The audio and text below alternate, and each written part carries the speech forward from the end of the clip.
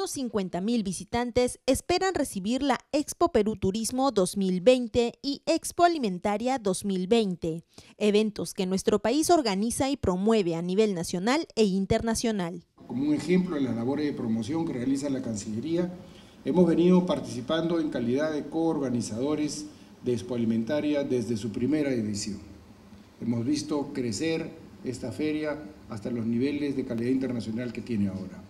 Habrán seminarios, habrán exposiciones eh, gastronómicas ah, y habrán eh, degustaciones también eh, de platos típicos. Y este va a ser el espacio ideal para poder convocar, ojalá, a muchas de las embajadas, a muchas de las misiones diplomáticas, para que hagan la promoción turística de sus destinos y esto permitirá también hacer negocios. Eh, durante los últimos 20 años, nuestras exportaciones en, en, agro han crecido significativamente.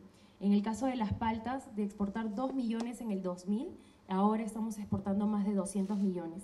En el caso de los arándanos, que en el 2019 hemos cerrado como el país número uno de exportaciones de arándanos, nosotros en el 2000 no teníamos nada y en el 2019 hemos cerrado con más de 800 millones de dólares exportados.